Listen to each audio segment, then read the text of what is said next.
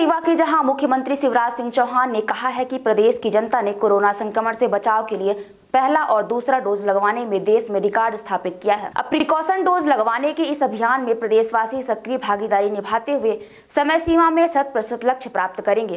प्रदेश में लगभग पाँच करोड़ लोग प्रिकॉशन डोज के लिए पात्र हैं। सितंबर माह तक पचहत्तर दिन चलने वाले इस जन अभियान में हम सामाजिक संगठनों स्वयं संस्थाओं आंगनबाड़ी एवं आशा कार्यकर्ताओं और सभी प्रदेशवासियों के सहयोग से सफल होंगे। मुख्यमंत्री चौहान ने कहा कि आज़ादी के पचहत्तरवे वर्ष में शुरू हुआ यह अभियान पचहत्तर दिन तक निरंतर जारी रहेगा।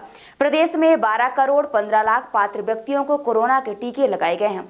प्रदेश की तिरानवे प्रतिशत पात्र जनसंख्या के टीकाकरण के लिए मुख्यमंत्री चौहान ने स्वास्थ्य विभाग के अधिकारी कर्मचारियों का आभार मानते हुए कहा कि बूस्टर डोज लगाने में भी प्रदेश रिकॉर्ड बनाएगा। मुख्यमंत्री ने कहा कि कोविड वैक्सीन अमृत महोत्सव में 18 वर्ष से अधिक आयु वर्ग के ऐसे समस्त व्यक्ति जिन्होंने कोविड 19 वैक्सीन की द्वितीय डोज उपरांत छह माह की अवधि पूर्ण कर ली है, वे सभी प्रिकॉशन डोज के लिए पात्र हैं।